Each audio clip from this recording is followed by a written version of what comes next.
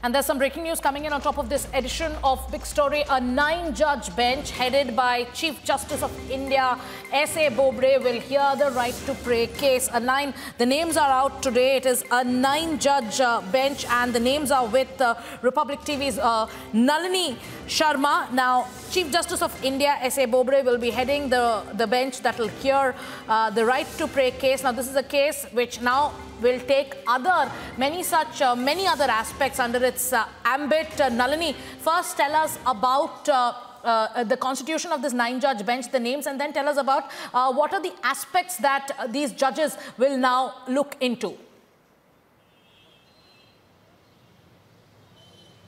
Well, Sagarika, just a couple of days back, we had reported that a nine-judge bench will be constituted to hear all of the issues pertaining to the rights of women to enter religious places. Now, the reason why this is important is because this is an issue across all religions. It doesn't pertain to any one religion. It deals with Muslims' women's right to enter a mosque as much as it deals with the Parsi woman's right to enter a dargah and a Hindu woman's right to enter the Sabarimala temple. So this is a uh, across all religions that this case is going to be heard. And the nine-judge bench that is being constituted constituted by the Supreme Court today is being headed by the incumbent Chief Justice of India, Justice S.A. Bobde. And I'll quickly take you through the other names that are included in this bench. The only woman judge on the bench is Justice R. Bhanumati, who will be deciding on this crucial issue. And the bench also includes Justice Ashok Bhushan, Justice L. Nageshwar Rao, Justice Mohan Shantanagoudar, Justice Abdul Nazir, Justice R. Subhash Reddy, Justice B.R. Gavai and Justice Suryakant. So it's a nine-judge constitution bench set up by the Supreme Court of India to hear the very, very crucial right to pray case regarding the women's right to enter places of religious worship. Yes. 13th January is when this hearing is going to begin.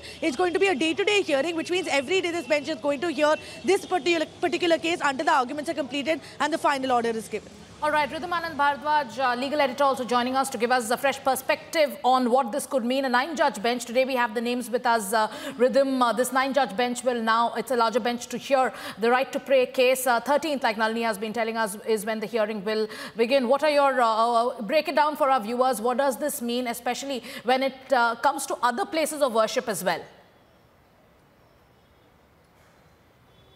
You know, uh, Sagarika, we remember covering the right to pray case right from when it started, when Justice Deepak Mishra was in Court 5 and he was hearing the Sabarimala case.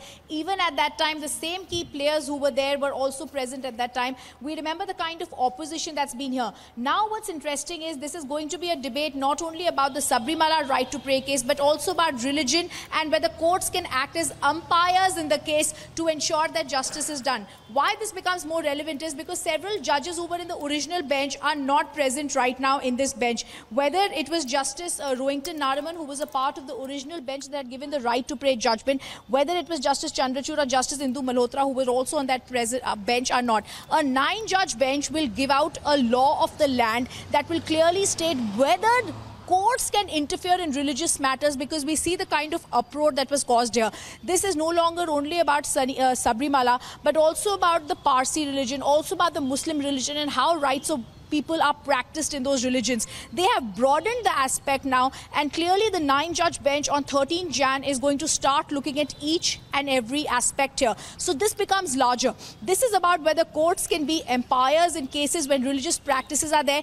Dr. Abhishek Singhvi was in this case, and he had clearly said that courts should respectfully abdicate from doing so. We've seen the other side also. K. Parasaran was in the case also. So several top legal eagles, we are possibly mm. going to hear them once again before the nine judge bench. Absolutely. Thank you, Ridhim and Nalini, for joining us on this broadcast. For, for viewers just joining in on the big story, the nine, uh, nine judge bench has been formed in the right to pray case. Uh, CJI uh, S.A. Bobde will be hearing the case. We have the names, uh, Ridhim and Nalini have, uh, are breaking down the details for us on the big story this Tuesday evening.